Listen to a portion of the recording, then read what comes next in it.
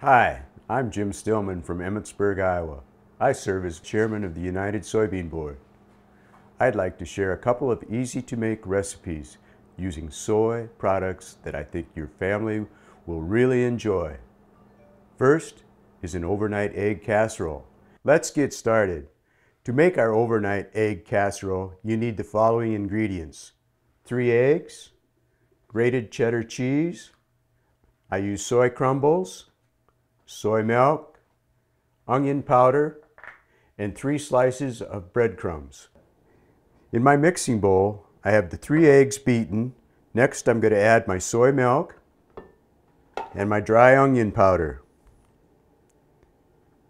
and mix together.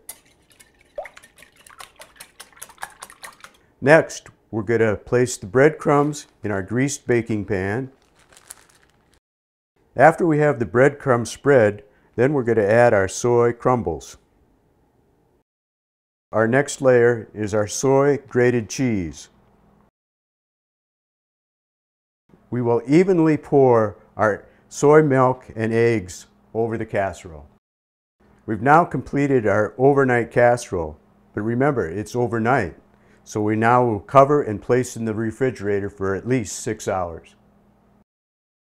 After being in the refrigerator for at least six hours, preheat your oven to 350 degrees and bake uncovered for one hour. After one hour, remove from the oven and enjoy this soy-based egg casserole.